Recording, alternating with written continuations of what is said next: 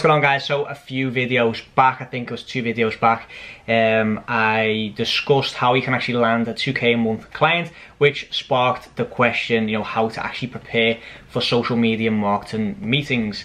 And a very common misconception about meetings with social media marketing or potential social media marketing clients is that you need to pitch your service right away.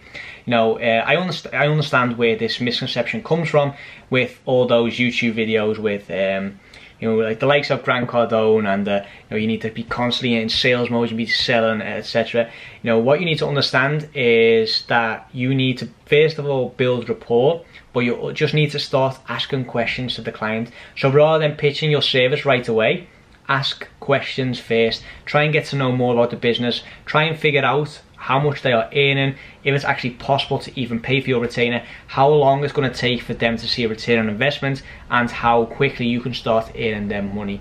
Okay, so more often than not, when I have um, a meeting for social media marketing, in fact, it's almost always now, um, the meeting is either through WhatsApp, Zoom, or Skype, so it's an online um, not a face-to-face -face meeting. So basically what I can do then is I can pull up all their social media pages uh, their websites etc while on the call. What I then look at is I look at their Facebook page. I look at um, what their cover photo looks like, what their logo looks like, how many likes they've got, and then I go to page transparency, uh, the little tab on the page, and then I look at um, if they are running ads, and what the ads look like. Then I go to their website, I check if they've got the Facebook Pixel installed. I do that by using the Facebook Pixel Helper, which is a free plugin for Google Chrome.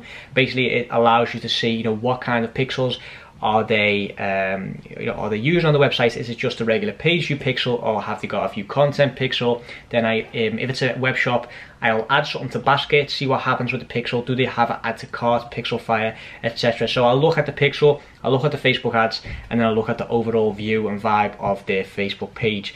I quickly glance over their website just to make sure that you know, if I am, let's say it's a lead generation and I am getting traffic onto the web page, that the web page and website does look, you know, up to scratch. It's not some kind of shitty WordPress website that takes ages to load. Then lastly, I just quickly glance over their Instagram page, you know, seeing what they're doing, have they got a lot of followers, etc. Okay, so Facebook page, website and Instagram, the three things I look at. Um, I have them open in all the you know all the tabs on my computer like I said because my meetings are online I'll either have uh, so I'm at my desk now my computer screen is here I'll either have everything here or um, and then I've um, Skype on or I'll be on my phone which will, I'll be in front of my computer. Um, anyway so 15 minutes before the call actually starts I start opening up the tabs um, and make sure that everything is on do not disturb or on flight mode or anything like that. So I don't get any notifications because um, you know I, I hate it when I'm on a call and the person I'm talking with, his phone goes off or he's checking his phone, his messages, and he stops me mid-conversation because he needs to reply to a message. Now that for me is an absolute no-go, so I make sure that I do not do the same. Then when I'm when I'm actually on the call and I'm talking to the business owner, um, obviously the first two three minutes, you know, just a very informal chat. Um, if the company or business is outside of UK or Europe, then I'll ask them, you know, I know exactly what time it is because I look at stuff like that uh, beforehand, but I'll just, you know, casually ask, no, what time is it for you? Have you had a good day so far? How are you? Yes, blah, blah, blah, you know, thanks for asking. And then I basically take control of the meeting right away. I, um, you know, say, okay, well, I've looked at your website. Um, let's say, for example, it's Apple. Okay, I've looked at your Apple website and um, I've noticed that blah blah blah. And then I'll start mentioning all the things that I've found. So I'll, I'll look at the cover photo I've looked at the website I've looked at the Facebook pixel. You know I'll start mentioning all the things that I've noticed. Whether that is good or bad I don't really you know it doesn't really matter. It's just um, to show the clients that I have done a bit of research, I've done my homework, and then I'll ask them, you know, can you tell me a little bit more about your business?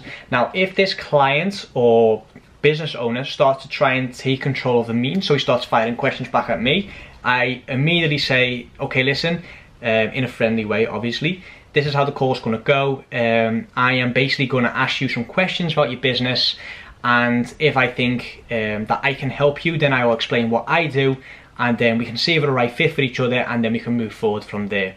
Okay, so that's a very polite way of saying, listen, I am in control of this meeting, so don't try and fire questions at me first. Okay, because the goal of the meeting is not to pitch my service. The goal of the meeting is not to explain what I do. The goal of the meeting is to try and find out what his problem is, how much money he's got, and how much he's willing to pay for me to solve his problem. Okay, and then um, as soon as I am back in control of the meeting, I ask him questions like, okay, well, how big is your business? You know, are you the actual owner? Um, is there, are there any other co-founders? Anyone else with shares? Um, you know, how many employees have you got? Why? Because I need to figure out if he's got, um, you know, if he can basically afford a retainer of a thousand, fifteen hundred, or two thousand plus a month. Okay, from there, I base if it's not 100% clear because obviously with service-based businesses, um, it's not always exactly you know in black and white what they are actually selling. So if it's a service-based business i'll ask them you know what is it exactly that you are selling? What is it that you are offering the customer? Is it b2b is it b2c blah blah blah. How are you pricing that? What does your ideal customer look like? Um, you know how do people buy your products? Why do people buy your products? What makes your product or service different from all the others? Um, which is an another um, what just um, you know sprang to mind is that I also look at the competitors. So let's say, for example, um, you know, this is a meeting with Apple. I'll look at Samsung. I'll look at how their website, how their ads are running. Why? Because I can use that as a reference point or benchmark, um, you know, on the call. So I can say, well, listen, um, you know, you've recently brought out the new iPhone, whatever, and Samsung have actually promoted this in such and such a way, or they have changed their cover photo to this, or their ads are tailored towards this, and then they can basically see what the um, the cost of inaction is basically. So if they do not change the way things are going with their current social media campaigns or, you know, they're not running ads or whatever, they are basically leaving money on the table and they will realize that if you show what the competitors or direct uh, competitors are doing. Okay, so the what, what we're basically trying to establish now is how much money they have got, can they afford us and make sure that they understand the necessity of what we are trying to offer. Okay, so like the cost of inaction, the cost of not um, not taking us on as an agency. Okay, so basically you just need to gather all this as data and then what I do is I transition into the pitch either later on the conversation or I'll just ask as much questions as possible until he comes back with me at the end of all these questions saying, you know, uh, okay, this sounds good, you know, what, what do you actually do or how do you price your services, etc. As soon as he says price your services or if he starts mentioning the price, you know he is interested because the only reason why he wants to know how much you cost is because he wants to know you know, is it, can he actually afford your service? And then explain, okay, well, listen, you know, we are a social media agency, we help businesses um, generate more leads, generate more sales. Again, I tailor that towards the, the company or the client. And I basically say, you know, we do that by leveraging Facebook ads. We have uh, two offices, one in the UK, one in the Netherlands, um, which is true essentially, you know, uh, my business partner Bradley has a, home office, I have a home office. So, you know, I just say we have two offices, one in the UK, one in the Netherlands. We have a team that works remotely, again, which is true as well. We have um, you know, I think in total now there's 10 of us, uh, 8 freelancers, me and Bradley are both co-founders, so we're a team of 10 and, you know, we uh, stay in contact through a virtual platform called Slack.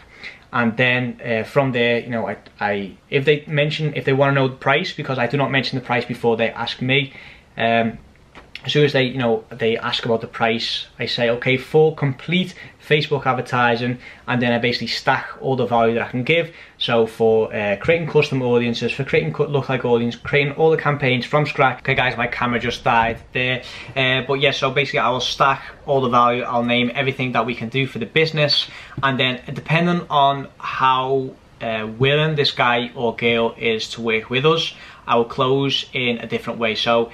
Um, if I know this client is on the edge, he wants to do this, um, basically I'll say, and we can do this for a fixed price of 1500 uh, pounds a month, excluding the ad budget. Uh, the ad budget is up to you. We recommend uh, 1500 a month to start with. The only thing we require from you is a 90 day commitment. And then I shut up, okay? I do not say a word until this client um, replies. Okay, so I don't add more or say, oh, you know, we can do, you know, I listen, just absolutely quiet, silence. And that silence can literally last like 20, 30 seconds. And in that time, the the client or the potential business owner, potential client, um, he, you know, is trying to think, you know, does he want this? Does he need this service? And because of the silence, he feels like he feels obliged to give you a reply and more often than not uh, like I said, if this client is on the verge, that is the point where he says, okay, let's do it, you know, what's the next step? And then I say, okay, um, you know, I've got a contract, we've got an invoice, blah, blah, blah, we've got an onboarding system. I'll send everything over to you via email now. And then I'll keep him on a call until I know that he has actually received that email.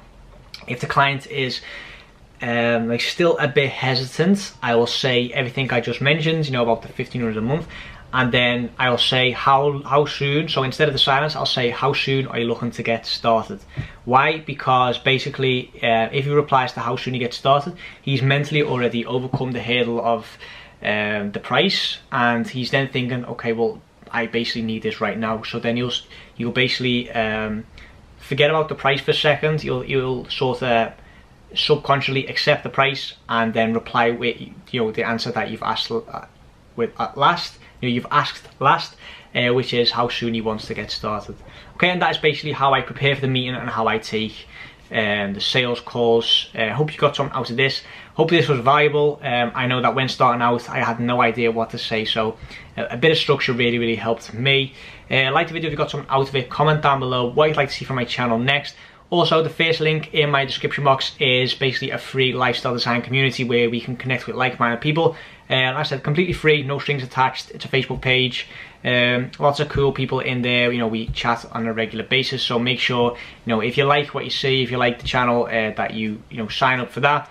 Um, I approve everyone unless, you know, uh, you're, you're, a fake page or a bot or anything like that. But anyway, uh, guys, thanks for watching and I hope to see you in the next one.